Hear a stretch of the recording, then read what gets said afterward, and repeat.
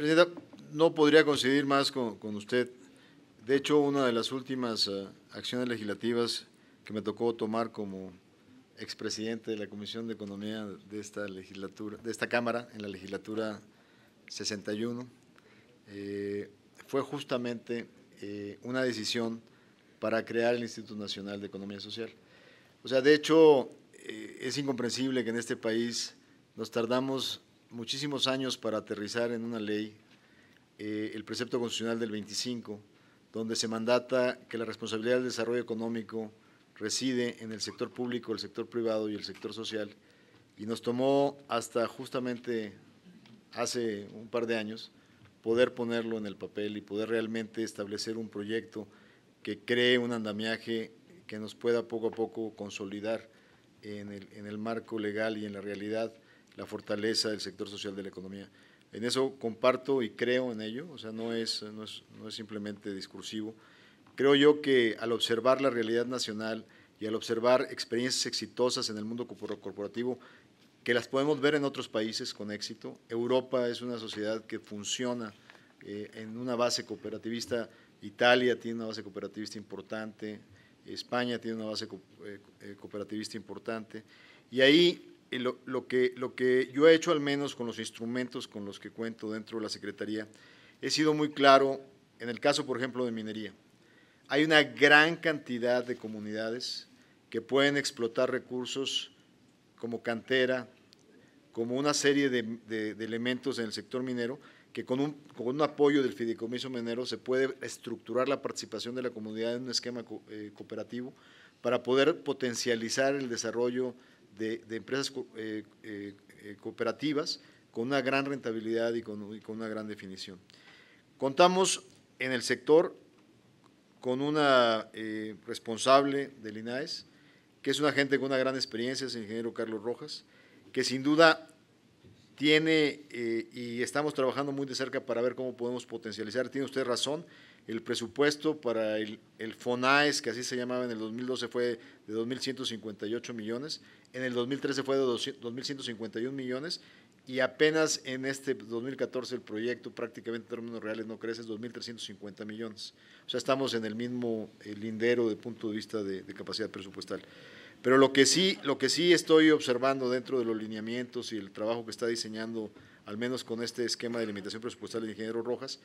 es tratar de orientar esto justamente a los esquemas productivos eh, que, debemos de, orientarlo. Sin embargo, coincido con usted, esto no se limita solo a materia presupuestal, sino de, se, tiene que ir al punto de facilitar el esquema integral del el desarrollo de las, de las cooperativas, sea en el sector pesquero, sea en el sector minero, sea en todos los sectores posibles de la, de la economía mexicana. Yo pongo en mejor disposición eh, eh, a la Secretaría mi agenda como secretario para trabajar conjuntamente con su comisión e ideas que nos puedan ayudar a poder capitalizar todas las oportunidades que observo existen en el, sector de, cooperativas y poder alinear los marcos jurídicos necesarios para fortalecerlo y darle certidumbre desde el punto de vista de su operación. En ese sentido, eh, eh, estoy en la mejor disponibilidad de desarrollar una agenda de trabajo con, con usted y su comisión para seguir adelante en esto. Eh, reconozco que, que, ha sido muy activo la Comisión de de competitividad y la Comisión de, Economía y hemos estado trabajando eh, con alguna frecuencia, pero está mi agenda a su disposición para tener una reunión con los integrantes de su comisión y definir una agenda de trabajo en función de lo que tenemos que hacer. Pues muchas gracias, Cecilia. Vamos a tomar la palabra porque ya tenemos rato que queremos tener una reunión con usted. Bueno, pues eh, para el comentario por parte del Grupo Parlamentario del PRD, la diputada Gisela Raquel Mota. Adelante. Gracias, diputada. Señor secretario, eh, ser un eslabón de la cadena de valor no es lo mismo que ser dueño de la cadena de valor, como ocurre en este caso con las transnacionales mineras en el país. Mi preocupación no nada más es como integrante de la Comisión de Fomento Cooperativo y Economía Social, sino como presidenta de la Comisión de Reforma Agraria. Apelo a la disposición que tuvo con mi compañera la diputada Lilia Gil en el sentido de revisar alguna concesión en particular, pero le comento que hay alrededor de 5.080 concesiones a nivel nacional, de las cuales se necesitan revisar. Hay concesiones que fueron otorgadas para un fin y se están utilizando para otro fin, entonces se está generando evasión. Hay concesiones que están ya este, vencidas y que las empresas mineras siguen trabajando. Creo que es una parte que hay que revisar, pero también tenemos eh, conocimiento de que la Secretaría de Economía no incluye en el proceso de otorgamiento inicial de concesiones la consulta para saber si los dueños de los predios están interesados en explotar el mineral, ni tampoco la consulta pública para el consentimiento libre e informado de los territorios de los pueblos indígenas y por tanto se está violando los convenios internacionales y el protocolo sobre los derechos de los pueblos indígenas. Secretario, en los últimos años hemos sido testigos de una importante actividad en las concesiones que otorga la Secretaría a su cargo. De acuerdo con el primer informe de gobierno, la superficie concesionada pasó de 14.7 millones de hectáreas en 2003 a 30.7 millones de hectáreas en 2013. Esas concesiones han sido otorgadas en su mayor parte a empresas privadas, muchas de ellas transnacionales. Según ese mismo documento, la inversión extranjera acumulada de 2003 a 2013 pasó o creció de 427.7 millones de dólares a 8.145 millones de dólares en 2013. El problema está en que la mayoría de estas inversiones tienen un carácter depredador, destruyendo los recursos naturales, sociales e incluso históricos del país, con el propósito de reducir costos en el corto plazo, dejando al país una enorme carga de costos de reconstrucción y rehabilitación de tierras, agua y tejido social que se puede pues, prolongar por décadas, impactando en un enorme daño que, que, por la forma en la que ha actuado esas empresas no están contemplando en sus costos de producción. Nos resulta terrible la idea de que a cambio de unos cuantos dólares procuremos que las empresas extranjeras operen con un mínimo de costos y en cambio provoquen un daño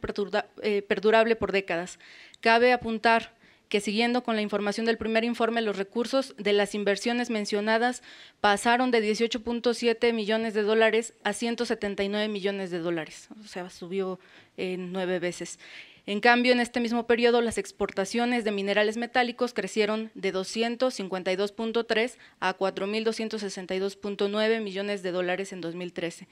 Es decir, que mientras el presupuesto destinado a la remediación creció nueve veces, la exportación de productos metálicos creció en 19, casi 20 veces. Sabemos que la mayor parte de las concesiones se dan en tierras comunales o ejidales y que muchas de ellas son posibles gracias a las empresas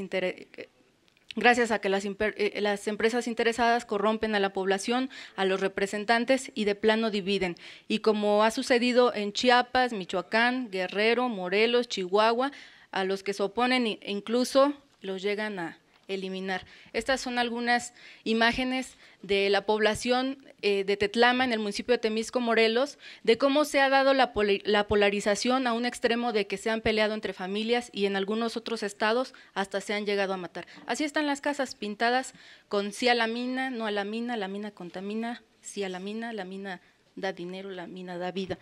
Eh, creo que esto es algo que ya no puede estar sucediendo en el país y nosotros permitirlo. Por esta razón, secretario, es que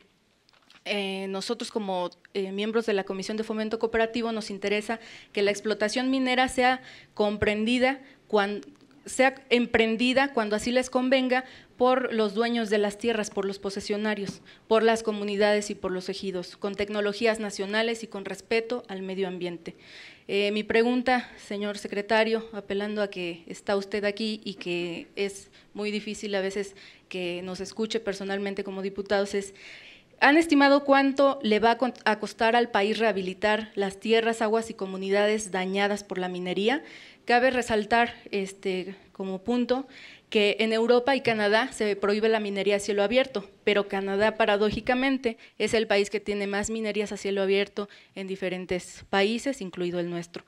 ¿Le parece correcto que mientras el promedio de pago de regalías en el mundo es del el 20%, en México no llega ni al 1%? ¿Qué política económica piensa realizar para revertir esta situación y para incluir a las comunidades como beneficiarias de los recursos que se extraen de su tierra? Le agradezco su atención, secretario.